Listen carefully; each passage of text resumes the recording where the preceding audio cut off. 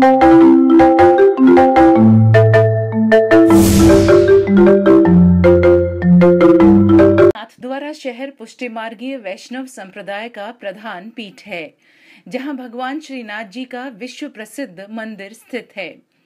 प्रभु श्री जी का प्राकट्य ब्रज के गोवर्धन पर्वत पर जतिपुरा गाँव के निकट हुआ था।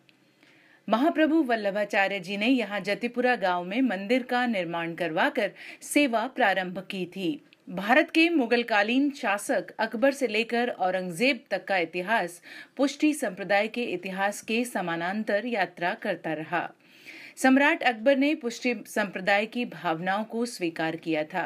मंदिर गुसाई श्री विठलनाथ जी के समय सम्राट की बेगम बीबी ताज तो श्रीनाथ जी की परम भक्त थी और तानसेन, बीरबल, टोडरमल तक पुष्टि मार्ग के उपासक रहे थे। नाथद्वारा में आठ दर्शन होते हैं श्रीनाथ जी के। शयन के दर्शन गर्मियों के सीज़न में ही खुलते हैं, बाकी दिनों में शयन के दर्शन नहीं खुलते हैं। वैसे भीड़ तो श्रीनाथ जी के सभी दर्शनों में बहुत पड़ती है, लेकिन भोग और आरती के दर्शन में अधिक भीड़ रहती है। लोग मंगला के दर्शन में काफ़ी आते हैं। भोग आरती और मंगला का श्रीनाथ जी का श्रृंगार और दर्शन मनमोहक होता है। श्रीनाथ जी का मंदिर काफ़ी विशाल है। मंदिर में प्रवेश करने के लिए तीन दरवाजे हैं। मुख्य दरवाज़ा मोती महल कहलाता है। मोती महल सबसे सामने की तरफ़ बड़ा दरवाज़ा है, जो चौपाटी की तरफ़ खुलता है।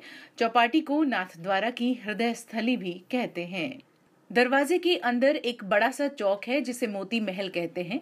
मोती महल के बीच एक फव्वारा लगा हुआ है। मोती महल पार करके एक संगमरमर की गली के द्वारा श्री लालन तक जाया जाता है। श्री लालन श्रीनाथ जी का बाल स्वरूप है।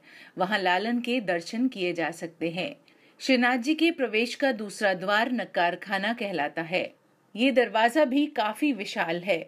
यहाँ दर्शनों के समय नगाड़ा और शहनाई बजती रहती है और इसे बजाने वाले इस दरवाजे के ठीक ऊपर बैठते हैं।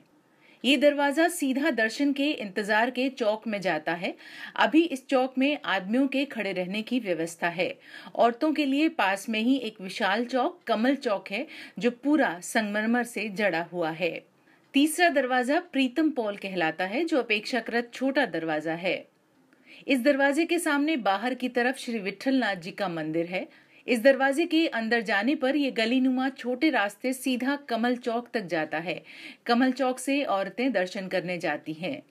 दर्शन में मुख्य चौक में श्रीनाथ जी के दर्शन किए जा सकते हैं। वैसे यहाँ भी काफ़ी भीड़ रहती है और धक्का मुक्की भी बहुत होती है। यहाँ कुछ व्यक्ति खड़े रहते हैं जो जनता को किसी टॉवल या कपड़े आदि से धीरे धीरे मारकर आगे बढ़ने को प्रेरित करते हैं। श्रीनाथ जी की बड़ी सुंदर मनमोहक काले रंग की संगमरमर की प्रतिमा है, जिनके मुख के नीचे ठोड़ी में एक बड़ा सा हीरा जड़ा हुआ है। श्रीनाथ जी के प्रत्येक दर्शन का श्रृंगार अलग होता है। प्रत्येक श्रृंगार के लिए नए कपड़े बनते हैं। इसके लिए नकार खाना दरवाज़ा के वहाँ दर्जी खाना है, जो कपड़े सिलने का काम करता है। इसी के नीचे आदमियों के इंतज़ार करने का चौक है। इस चौक में साइड में दूध आदि लेकर कुछ लोग बैठे रहते हैं, जो कुछ शुल्क लेकर शिनाजी को दूध इत्यादि देते हैं। पास ही में शिनाजी की सेवा के लिए जमा होता है। शिनाजी के दर्शन कर किसका मन भाव विभोर नहीं होता। कमान चौक के पूर्व की तरफ़ शिनाजी का प्रसाद मिलता है। शिनाजी का ये प्रसाद बहुत ही स्वादिष्ट होता है। श्रीनाथ जी का प्रसाद पूरे भारत में प्रसिद्ध है कहते हैं श्रीनाथ जी का प्रसाद भेंट करने से अच्छे अच्छे काम बन जाते हैं अगर आपको हमारा वीडियो पसंद आया है तो आप हमारे YouTube चैनल को सब्सक्राइब करना न भूलें